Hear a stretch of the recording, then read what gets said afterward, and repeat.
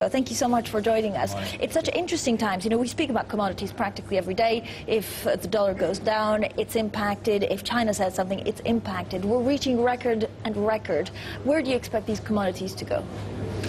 So we expect that uh, oil will be between 70 and 80 actually, and uh, but in our uh, budget plans we're actually thinking that it will be 65. So we try to be more uh, careful in terms of the price, not over expectations. Uh, talk to me about, about, your strategy, because we heard from you that you're actually trying to divest some of your assets.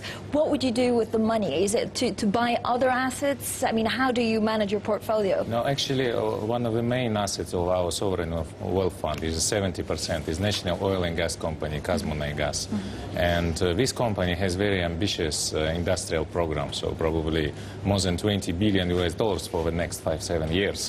So in order to develop this program in, uh, in terms of the participation in Kashagan fields uh, development, etc., the Kazmunaygas needs money uh, itself. That's why we're thinking about uh, maybe next year to, to think a little bit about IPO.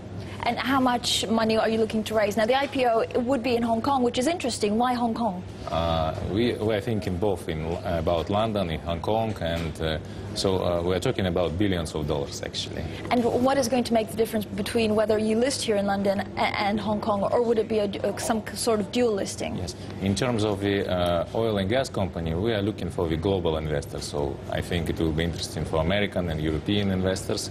Uh, in terms of the, some other companies where it's more mining and uranium, we probably will think about more Hong Kong because it will be related to the export to China from Kazakhstan. So just talk me through it again. Basically, you want to split off the company and, and, and part of it listed here in London and the other part in yes. Hong Kong where it makes yes, more sense. And how big would these IPOs be in, in terms of you know, the two uh, units? It's very difficult to say right now. At this point? yes, I, we should prepare the evaluation. And you believe that next year, probably the middle of next year, is a great time because there will be yeah, investor appetite? Yeah, yes, we strongly believe next year is a very good time for Kazakhstan. We're just looking for the uh, last experience of Petrobras, and I think it will be more and less close to these issues.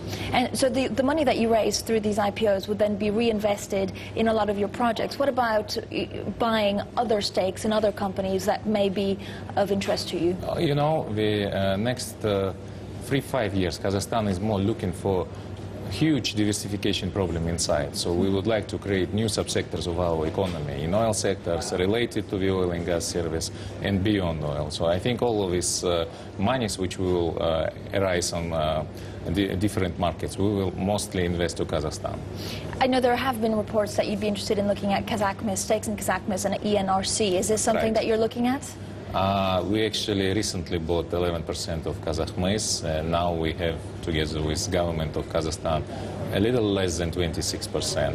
Uh, and you probably know we provide to Kazakhmys a credit line 2.7 billion US dollars uh, using opportunities of Chinese development market. It means that we would like together with other investors to get some upside in the future with Kazakhmys development. So what, buying more of a stake in Kazakhmys? No, I think it's, it's enough. That's it. It's interesting to see, you know, a lot of investors and a lot of analysts saying there's so much consolidation in the mining sector. Why not be part of that? I mean, why would you not be looking at someone like, you know, BHP or Rinto, Rio Tinto to diversify, but still saying in what you know best mining sector? We have, uh, in Kazakhstan, we have two companies which listed in London Stock Exchange, ENRC and, and Kazakhmys. In ENRC we have 11%, and in Kazakhmys we have less than 26%. Uh, we have also national mining company, Tauken Samruk, and the idea is to bring more other investors to Kazakhstan. Recently we talked to Rio Tinto, and they have a plan and probably will announce that uh, at the end of the year to start to work together with Rio Tinto in Kazakhstan. Very interesting. Thank you so much, Kairat Kelimbetov. So I'll have to get you back in the studio when you do launch the IPO so you can tell us all the juicy details about that.